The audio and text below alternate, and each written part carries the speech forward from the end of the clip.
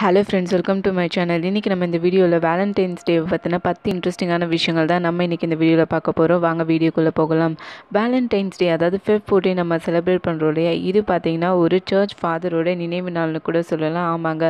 Saint Valentine அப்படின்ற ஒரு search ஃபாதரோட நினைவு நாள் தான் இது. அதாவது ஒரு கொடூரமான ஒரு மன்னர் இருந்தார். அவரோட ரூல் என்னன்னு பார்த்தீங்கன்னா தன்னோட படை வீரர்கள் வந்து காதலிக்கக்கூடாது திருமணம் பண்ணிக்கக்கூடாது அப்படின்னு சொல்லிட்டு அவரோட நாட்டில் ஒரு ரூலே போட்டிருந்தாரு.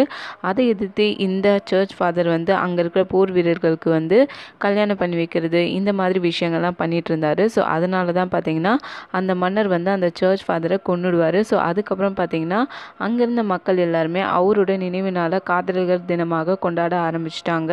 அண்ட் ஏன் அந்த மன்னர் வந்து அந்த காதல் திருமணம் இதெல்லாம் தடுத்தாருன்னு பார்த்தீங்கன்னா அதாவது போரில் வந்து போர் புரிகிற அந்த வீரர்களுக்கு வந்து கவனச்சிதறல் இருக்கக்கூடாது அப்படின்னு சொல்லிட்டு அவர் வந்து தடுத்தாரு அப்படின்னு சொல்லிட்டு சொல்கிறாங்க அண்ட் ரெண்டாவது இன்ட்ரெஸ்டிங்கான விஷயம் என்னன்னு பார்த்தீங்கன்னா இந்த உலகத்திலே ஃபஸ்ட்டு லவ் லெட்டர் எழுதினது யாருன்னு தெரியுமாங்க?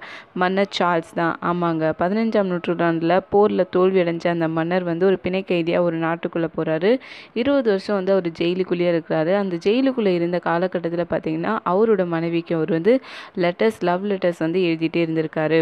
அண்ட் மூணாவது இன்ட்ரெஸ்டிங்கான விஷயம் என்னன்னு பார்த்தீங்கன்னா லவ்வர்ஸ் ஒரு தடவை லிப் கிஸ் கொடுக்கும்போது அவங்களோட வாயில் வந்து எட்டு மில்லியன் பாக்டீரியா வந்து ட்ரான்ஸ்ஃபர் ஆகுமா அண்ட் நாலாவது இன்ட்ரெஸ்டிங்கான விஷயம் என்னென்னு பார்த்தீங்கன்னா காதலுக்கு மரியாதை. நம்ம எல்லாருமே வந்து ஒருத்தனுக்கு ஒருத்தி காதலை வந்து ரொம்ப மதிக்கிறோம் அப்படின்னு சொல்லிட்டு ஒரு ரிலேஷன்ஷிப்பில் நேர்மையாக இருக்கிறோம் அப்படின்னு சொல்லிட்டு மக் மனிதர்களை சொல்லுவோம் இல்லையா? பட் உண்மையாகவே ஓ நாய் பாத்து அப்புறம் பார்த்தீங்கன்னா இந்த சிகப்பு வால்குரங்கு அப்படி சொல்லுவாங்கள்ல இதுங்கெல்லாம் பார்த்தீங்கன்னா தான் தன்னோட காதலருக்கு வந்து ரொம்பவே வந்து லாயல்ட்டியாக இருக்கும் அப்படின்னு சொல்கிறாங்க தன்னோட பார்ட்னருக்கு ரொம்பவே உண்மையாக இருக்கிறது பார்த்தீங்கன்னா விலங்குகள் தான் அப்படின்னு சொல்லிட்டு ஒரு ஆராய்ச்சியும் கண்டுபிடிச்சிருக்காங்க.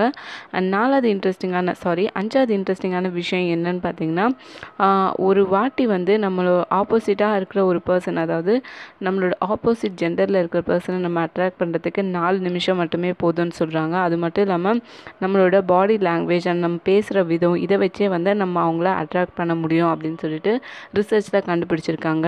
அண்ட் ஆறாவது இன்ட்ரெஸ்டிங்கான விஷயம் என்னன்னு பார்த்தீங்கன்னா லவ்வர்ஸ் ரெண்டு பேர் வந்து ஐ கான்டாக்ட் பண்ணிக்கிட்டாங்கன்னா அவங்களோட ஹார்ட்டோட ஹார்ட் ரேட் வந்து சிங்க்ரோனைஸ் ஆகிறதுக்கு நிறைய சான்சஸ் இருக்குது இன்னும் கேட்டால் அவங்களோட ஹார்ட் பீட் பார்த்திங்கன்னா ஒன்றாவே துடிக்க ஆரம்பிச்சிடும் அப்படின்னு சொல்கிறாங்க அண்ட் ஏழாவது இன்ட்ரெஸ்டிங்கான விஷயம் என்னன்னு பார்த்தீங்கன்னா ஆக்சிடோன் அப்படின்ற ஒரு திரவியம் வந்து ஹக் பண்ணும்போது சுரக்கும். இது பார்த்திங்கன்னா நம்மளுடைய ஹெட் ஏக் அண்டு நிறைய உடலில் இருக்கிற வலிகளை வந்து க்யூர் பண்ணுறதுக்கு இதில் வந்து நிறையவே ஸ்ட்ரென்த் இருக்குது அப்படின்னு சொல்லிட்டு கண்டுபிடிச்சிருக்காங்க. அண்ட் எட்டாவது இன்ட்ரெஸ்டிங்கான விஷயம் என்னன்னு பார்த்தீங்கன்னா ஒருத்தவங்க வந்து ஹாஸ்பிட்டலில் வந்து ரொம்ப வலியில் வந்து அட்மிட் ஆகியிருக்காங்க அப்படின்னா அவங்க லவரோட ஃபோட்டோவை பார்த்தாங்கன்னா அந்த பெயின் வந்து குறையதுக்கும் அப்படின்னு சொல்லிட்டு ரிசர்ச்சில் கண்டுபிடிச்சிருக்காங்க. அண்ட் ஒன்பதாவது இன்ட்ரெஸ்டிங்கான விஷயம் என்னன்னு பார்த்தீங்கன்னா திருமணமானது பிறகும் வந்து ஒருத்தவங்க வந்து அதே காதலோட ரொம்ப நாள் இருந்தாங்கன்னா அவங்களோட டெத் ரேட்டும் பார்த்தீங்கன்னா சேமாக தான் இருக்கும். அப்படின்னு சொல்லிட்டு ஆராய்ச்சியில் கண்டுபிடிச்சிருக்காங்க. அண்ட் பத்தாவது இன்ட்ரெஸ்டிங்கான விஷயம் என்னன்னு பார்த்தீங்கன்னா நம்மளோட ஆப்போசிட்டில் இருக்கிற பர்சன் நம்ம பார்க்கும்போது சில பேர் இப்போ சொல்லுவாங்க இல்லையா லவ் அட் ஃபர்ஸ்ட் சைட் அப்படின்னு சொல்லிட்டு தன்னோட வயிற்றில் பட்டர்ஃப்ளை பறக்கிற மாதிரி இருக்குது அப்படின்னு சொல்லிட்டு. அது உண்மையாகவே வந்து ஒரு கெமிக்கல் காம்பனண்ட் தாங்க. ஆண்டிலின் சுரபி அப்படின்றது வந்து நம்மளோட வயிற்றுக்குள்ளே சுரக்குமா?